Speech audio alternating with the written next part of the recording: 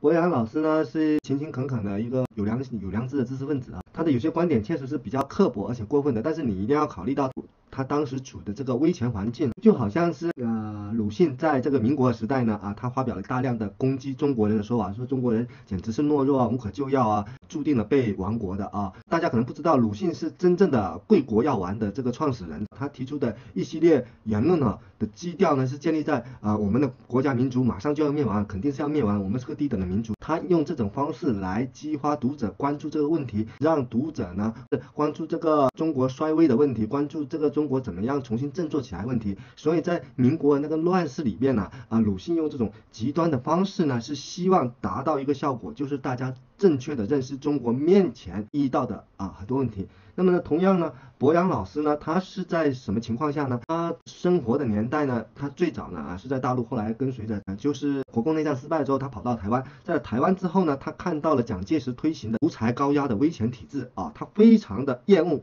然后他写了一大堆的杂文来抨击，希望的是改变这个政府独裁专制政府。他用了他的良知，尽到他的努力。然后他说了很多过分的话。在他出狱了之后呢，啊，他写了这个丑陋中国人，也是一以贯之的啊。他认为台湾现在体制是有问题的，是很独裁的，是很专制的，是很危险的。在这个基础上呢，他写了这样的一个丑陋的中国人啊。看某些作家作品啊，一定要注意，他是有针对特定的时代、特定的环境、特定的市场，不适合任何时代。就比如说，要是鲁迅到了今天。生活在我们中华人民共和国，然后呢，整天说中国要亡了啊，中国人民太懦弱，中国人民是个傻逼。鲁迅会什么下场呢？肯定是我们中国人多数人会把鲁迅骂得死无葬身之地的。对同样的言论放在不同的时代，那产生的效果是不一样的。这鲁迅在他那个民国战乱时代，他发表中国要亡了呢，给中国人敲丧钟的这种行为呢，啊，大家呢是会感到民族危机感的啊，是会熊熊的燃烧起爱国热情的。但是相反，在我们这种太平盛世里面呢，你天天跟跟所有人讲啊，中国要亡。了呀，中国人太懦弱，中国人就是下等民族啊，中国人就是贱呐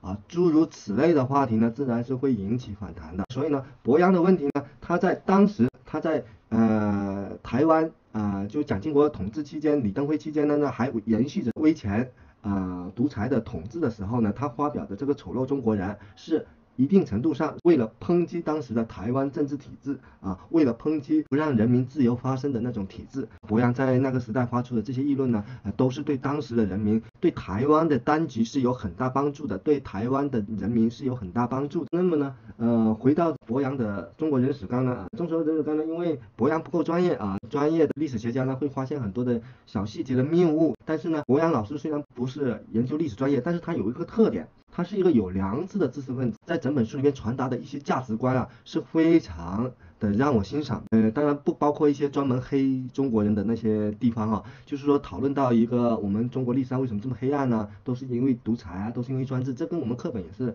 我们历史课本强调也是一致的。博洋是。基本上他的史观呢是很简单的四个字啊，就是人民史观啊，人民最大啊，其他的都不大，是人民最重要啊，其他的帝王将相啊都是为了人民服务的，而不是颠倒过来的啊，人民就是为帝王将相服务的。那基于他这样的人民史观啊，这个简单的人民史观啊，他的这个历史分析啊，他不是受过那种专业的读了一大堆的西洋的那历史哲学专著哈，博洋可能没有那个时间啊，当时他已经老了，也不可能再有太多时间读书，所以呢，他是以自己的一份用老派的啊知识分子去写这个。中国人史刊博洋啊，是老一派的文人。什么叫老一派文人呢？就是民国过来文人。他们受的是从小受的是私塾教育，他们脑中有一些传统的五伦观念，很正统的天地精心师的观念。他们知道天地精心师给中国人、给中国社会带来影响，他们更清楚这些中国传统文化的利和弊，是我们现代的历史学家啊写不出来的。哇，因为我们已经没有那种受过完整的私塾教育，多数人啊，多数知识分子，我不是从读四书五经开始长大的啊，我们九年义务制，然后课本有什么我就读什么啊。我们这一代的培养方式跟博洋啊、跟鲁迅的培养。是不是不一样的？他们是先读四书五经，先穷究中国文化本源。所以呢，读中国人史纲有个好处呢，就是知道老一派的人遇到了呃中国历史问题，他是怎么研究历史的。就是一切的历史都是当代史的，就是每一代的历史学家去看过往的历史，他都是不一样的。比如说梁启超是在晚清，他也是个历史学家，看待中国历史呢，啊，他是用呃晚清时代的人的。光去看整个中国历史的去做研究的啊，他是有他的立场的，他是站在呃他的当代史上，他是站在他的晚清的时候的那个呃就是二十世纪的那个角度，知识分子角度去看过往的中国历史的啊。新中国成立后，历史学家呢，则是用二十一世纪的眼光啊去看我们过去的历史，而每一代的人，每一代的历史学家看过去的历史都是不一样的，而历史是不断的修正的，后来人不断的相同的历史，比如说清朝人对宋朝人看法，跟我们现代人对宋朝人看法，那完全是两回事啊。就就算是明朝哈，清朝去看这个明朝哈，嗯，清朝皇帝是非常佩服这个明朝的啊，觉得呃，甚至